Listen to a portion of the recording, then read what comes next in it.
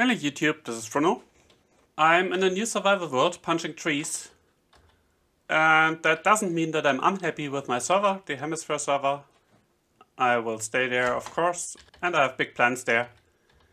But I thought with 121 around, I should do a little mini-series. And the aim is basically to get good in technical Minecraft in a new world.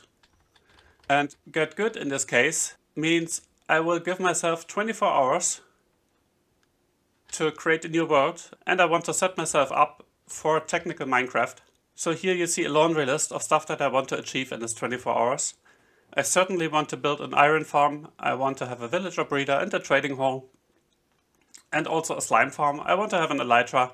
And then we'll see what we can achieve. So here are the rules for this 24 hour challenge. I will use a few data packs, I will list them in the description. Nothing special, all from vanilla tweaks, like fast leaf decay. I will also use my usual client-side mods, for example Xaero's map. And the map is not random. I have actually selected a map where I have fairly nearby a village and a swamp and a nice large plains biome where I can build an industrial district. So let's grab a boat and go there where I'll tell you the rest of the rules. Now I have a data pack that will show me how long I'm here in this world, which is also from Vanilla Tweaks. So you see here on the right hand side the play minutes. We will stop in this world if we reach 24 hours. And otherwise I will use the usual client-side mods that I also use on the Hemisphere server. With one exception, they are all client-side so you can use them with any vanilla server. But I will use accurate placement which is a carpet feature which allows to build especially redstone contraptions much faster. And I have an inventory mod that allows me to move a lot of items, to move matching items and stuff like that, which is inventory profiles next. I will use Tweakeroo, MiniHUD and Litematica. And if you think Litematica is a bit of cheating, yes it is, but I can't really talk and think at the same time. So I will have to plan some farms that I built in Litematica ahead so that I can tell you about why I built them and how I built them. If I would try to do this otherwise, I would probably build a lot of rubbish that doesn't work. I will also not count AFK time.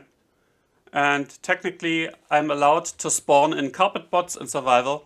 So I can, for example, build an iron farm, set a bot there for 24 hours, and then return to this world. Otherwise, the series will be a bit more raw than the stuff that I usually do. But it will also give me time to talk about stuff, why I do it the way I do them. Oh, sugarcane. But let's loot our first village, get some stone tools. So I will take a few beds. I will try to sleep so that the villagers don't die, hopefully. But we'll start right off the bat with a villager breeder. So we need a few beds for that. And of course I want to design where the villagers can sustain themselves. So therefore it's really good that we have potatoes here. Grab a bit of cobble to make stone tools. Now the builds will not be pretty, but we won't cheese it. That means we won't take the cheapest and fastest design to build just to get something done. So for example, the iron farm that I plan will have four villager we'll pod and create quite a lot of iron so that I won't have to build any iron farm ever again. And we have some wheat, which is good. Here we also have a few buildings where I might just trap some villagers. And the important thing is at the start we want to grab a few villagers, but we don't want to grab farmers, because farmers might have wheat in their inventory and we want to do a self-sustaining villager breeder. So what we really need are some potatoes or carrots. So we have a couple of villagers sleeping here. Let's just trap them so they are safe from mobs. And that's a really valuable find. We have a church here. And the church allows us to do a cleric villager, which will sell us redstone. So this is huge for a fast start. Because we don't need to get blaze rods. So let's create a couple of boats. And I think I will set up shop maybe here just 100 blocks away, which will make sure that my villagers don't claim any workstations in the city.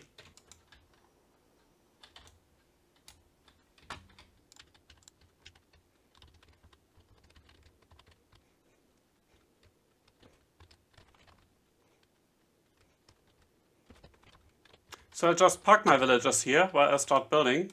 I will also set up a mini field here to start a few potatoes.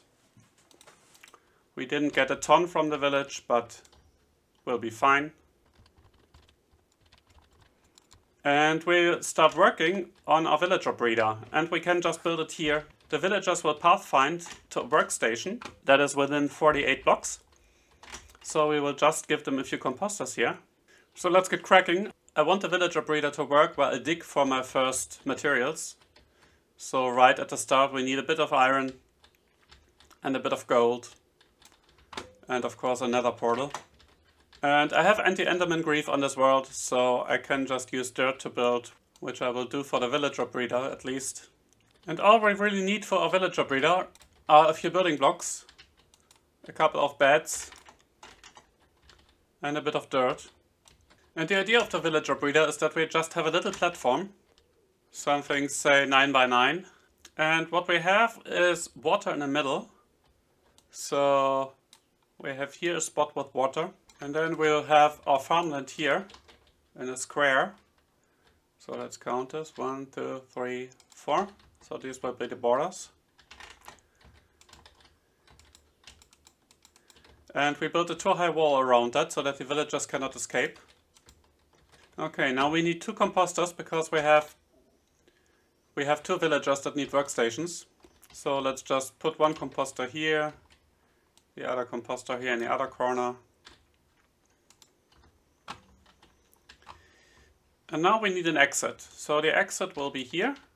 And now we just need a few trapdoors. So let's say this is our setup. Then the villagers will think they can go over this trapdoor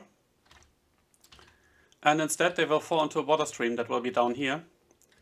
And we go four blocks, I think, or maybe five.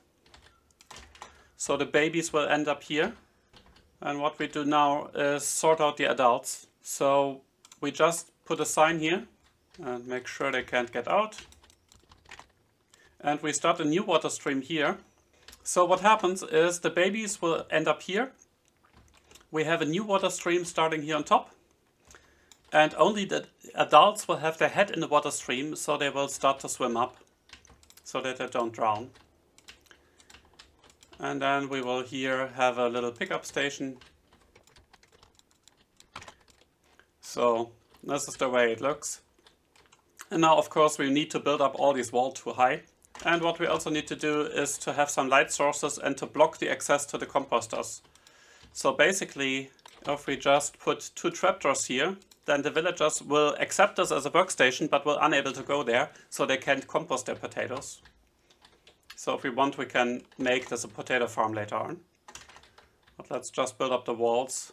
Okay, of course we need some light, both to have the crops grow and to make the and to keep the villagers safe. And now we'll convert this into farmland. Now make sure you only use potatoes or carrots because villagers can eat these directly. There we go. And of course we need to close up the workstation from outside so the villagers can't get there. So let's just do this. The villagers might actually go on this wall here, in which case we can push them. That would be fine. And boy, I almost forgot the all-important trapdoor here. Because vill villagers are higher than the player, so they're exactly two blocks high. So if we put a trapdoor here, then the villagers won't be able to go through, but they think they can go through. This is the all-important part. So, let's see what happens. If we break this boat here. So hopefully this villager will be a good villager, yes. And go straight to his workstation. Okay, and now let's... Okay, stupid guy. Let's break the workstation. Okay, let's replace the workstation.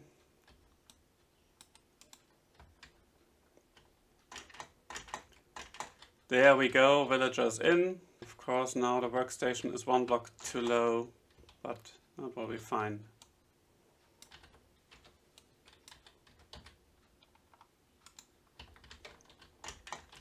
And now let's try the same maneuver with the other villager.